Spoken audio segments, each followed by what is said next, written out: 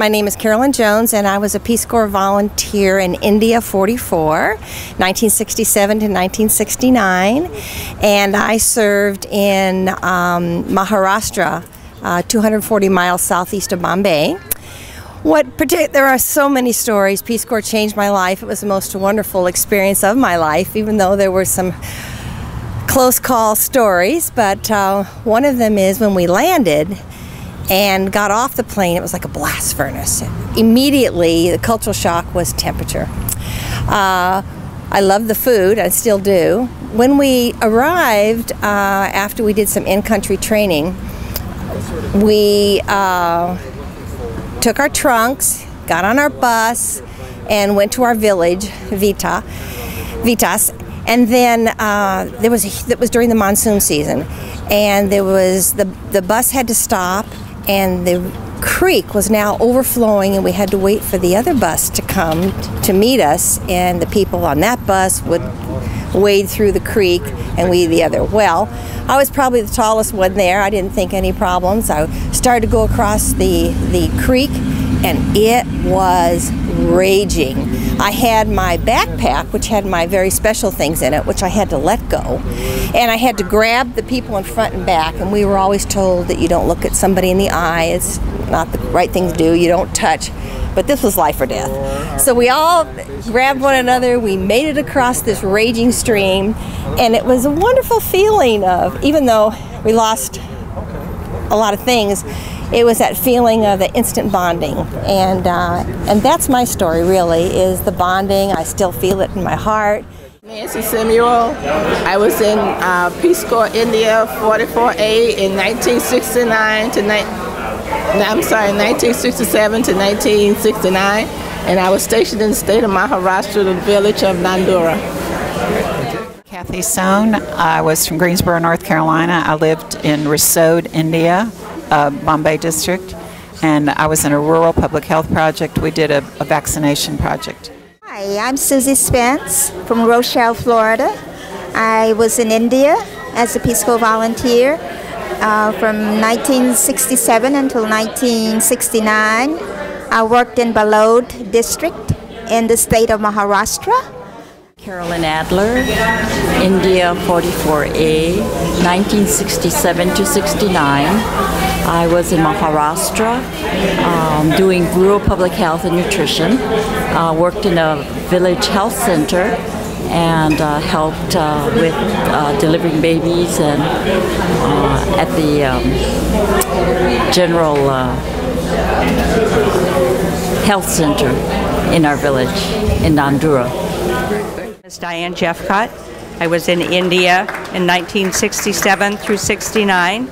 I lived in a small village called Balod, and I worked in public health and family planning. Hi, I'm Lynn Graham. I was served as a volunteer in India from 1967 to 1969 in India, in the state of Maharashtra, where Bombay is the capital, but far away from there in a little dusty village doing public health work. My name is Gerard Wilson. I was in India 44. I was stationed in India in the Rajasthan province, and we were working in agriculture. And the years? 1966 to 19, 1967 to 1969. I'm Tom McDermott. I was in India in 1967 to 69 in southern Rajasthan on the Gujarat border. I worked in an agriculture group and uh, deal, dealt mainly with uh, tribal villages. Okay, my name's Cliff Lopez. I served in India from 1968 to 1970 uh, near in the state of Orissa.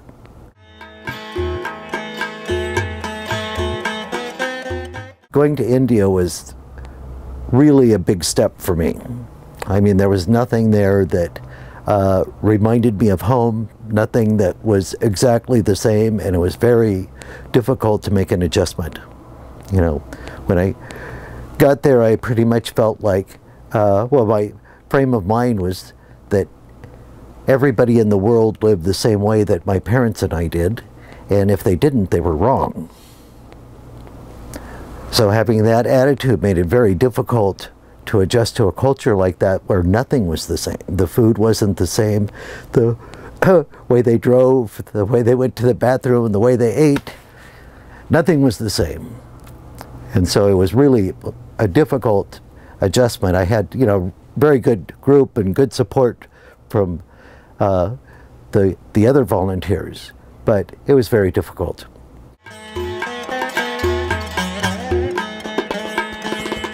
tell people about it, uh, my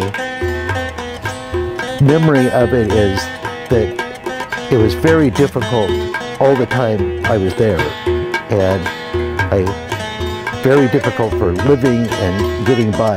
But ever since I left, I've loved it. It was just, I didn't realize how much I had learned and how much my horizons had broadened through that experience.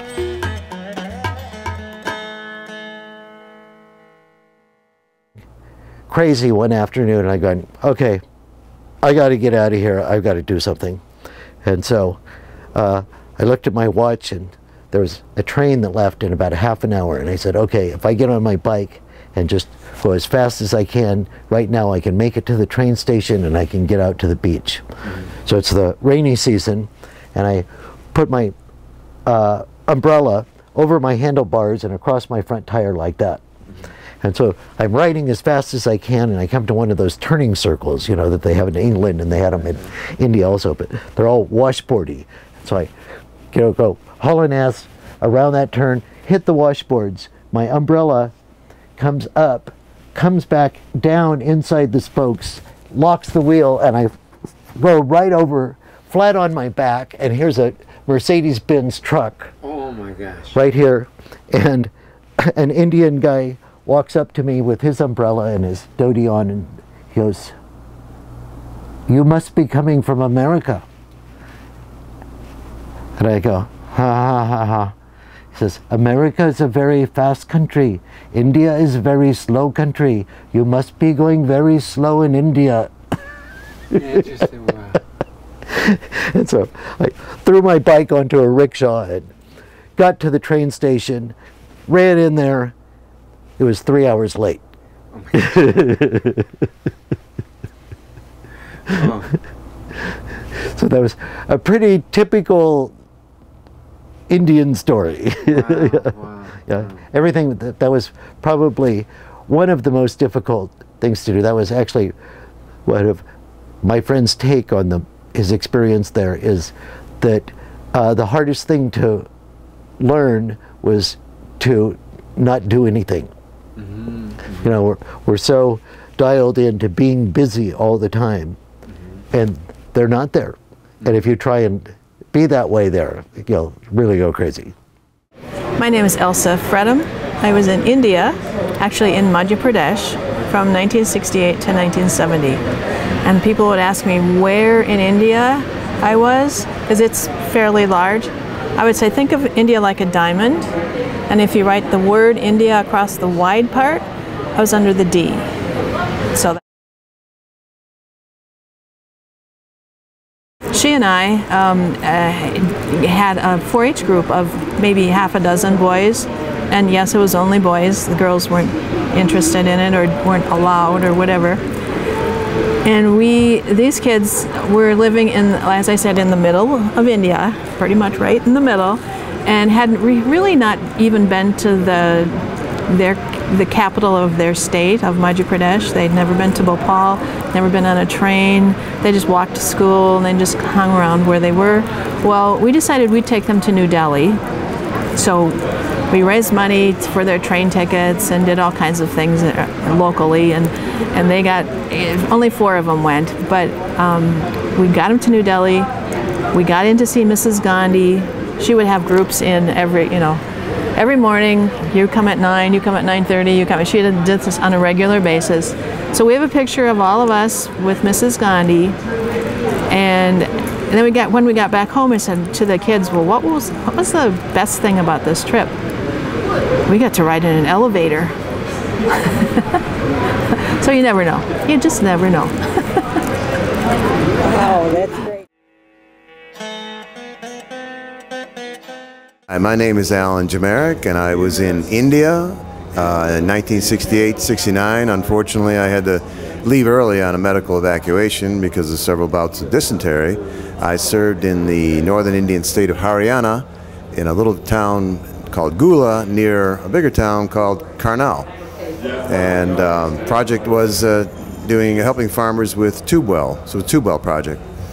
Um, stories, I just have the it was highs and lows. You know the the bugs, the heat, uh, lack of uh, sanitation, and all. But the good memories were just meeting a lot of interesting folks from uh, Sikhs, a lot of Sikhs where I was, and that was interesting. Sikhs and watching how Sikhs and Hindus got along together, and uh, that was very, very interesting. And all the experience was just wonderful, and I'd go back again if my old body would handle it.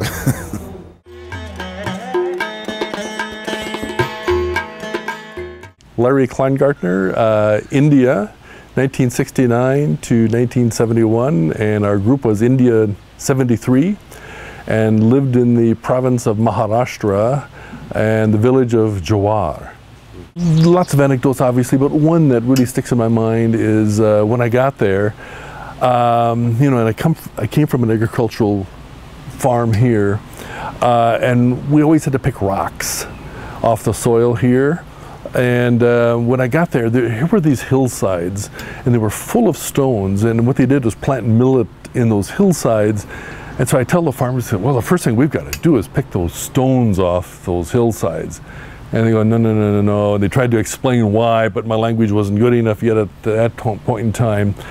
But when the monsoons came, and we got 12, sometimes inches a day, maybe 20 inches a day, I quickly understood why the rocks were so important to remain where they were at. And so all that good knowledge from my North Dakota roots, uh, you know, didn't translate, obviously. Another one, just you know, uh, great planning. You know, we're all such you know Americans. We're, we're all such great planners. We want to get things done, and uh, uh, I set up uh, with these farmers a vegetable uh, irrigation system, and that was in their off season in the wintertime, and. Um, we spent a lot of work getting that well put together and, and, the engine working. And so I ran off to this agriculture institute, got a bunch of vegetable seedlings, and I said, I'll be back at five o'clock on the bus, be ready. We'll plant them late in the afternoon so they'll, uh, you know, have the night to adjust, the plants that is. And I get to the bus depot and none of my guys are there. None of them are there. And I uh, walk up to the village and all these, I got these big baskets of vegetables, uh, vegetable seedlings, and the villagers, uh, they're out, they're they're having a wedding. And I say, hey guys, what's going on? And they say, well, this is we've got this is the wedding season. We we don't want to do a whole lot of things in the wedding season. Well, why didn't you tell me? well, we didn't want to hurt your feelings because this was your project, probably a little bit more than it was theirs. Yeah. So that was another real, you know, head against the wall kind of, boy, I need to be much more culturally sensitive uh, in the future here as I put these, uh, you know, work with, on these projects. It was Randall Donahue. Uh, my wife and I were in India, 1970 through 72, uh, India 106. It was a married couples program, Uh, horticulture and nutrition.